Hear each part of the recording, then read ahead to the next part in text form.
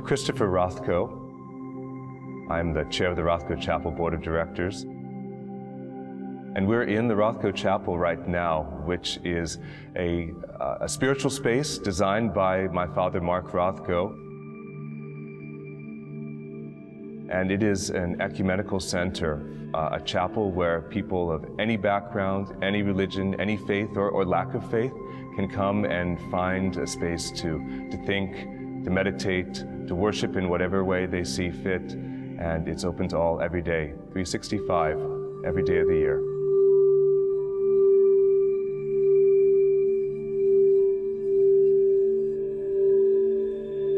So the Rothko Chapel is in Houston, Texas, in the heart of what we call the Museum District. It was commissioned by the DeMenil family in the mid-60s and opened in 1971. From the earliest time in my father's career, he imagined creating a space, a space where he could really set the tone and have a very direct interaction with his viewer.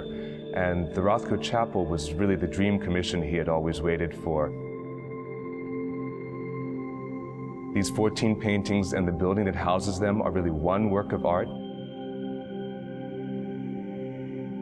And together with the viewer, they create meaning. When we talk about the Rothko Chapel, we talk about the many different areas that it embraces, that being the artwork itself, that being the spiritual mission, the uh, fostering of interfaith understanding, and the more active piece of championing human rights. One of the things that I find most attractive about the Rothko Chapel is the fact that it is a living institution in many different ways. And that's uh, a tradition that we carry on and keep very active here. The Rothko Chapel offers a wide variety of programming, including meditative and spiritual seeking types of uh, events. In a moment, in an instant, you are centered, you are focused. Speakers who talk about current issues today, both locally and around the world.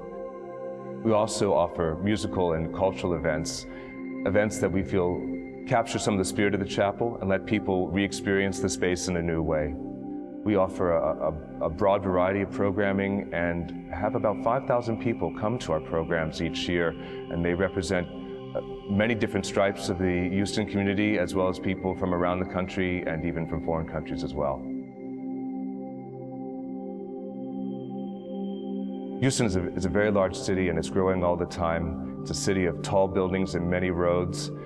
And then you can take, take a turn into a quiet little neighborhood, a little, a little oasis in the midst of all the noise and the busyness. And in the middle of that is the Rothko Chapel and its campus. And whether you're standing on the plaza outside, sitting by the broken obelisk of Bar Barnett Newman sculpture, or finding quiet inside the chapel, it's a completely different environment. It's a place to remember that you're human in the midst of all the chaos. We shall overcome. We shall overcome. Someday. The Rothko Chapel recently invited Rutha Mae Harris, one of the original freedom singers, to help us remember Martin Luther King his tremendous contribution to the world of human rights and to fostering peace between peoples. It was a fabulous program because on the one hand it was beautiful, it was filled with song that made the human spirit soar, but it also reminded us of all the work that's been done and all the work that still needs to be done. The Rothko Chapel is an institution that both embodies history and it is something that needs to be preserved the Rothko Chapel is a relatively small organization, but a very ambitious one.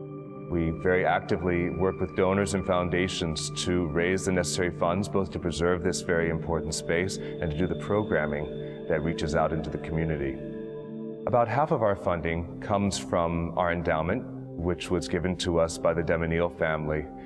And although we are down the block, we are in fact separate from them. So part of our work at the Rothko Chapel is to make sure that the building and the artwork itself is maintained and conserved.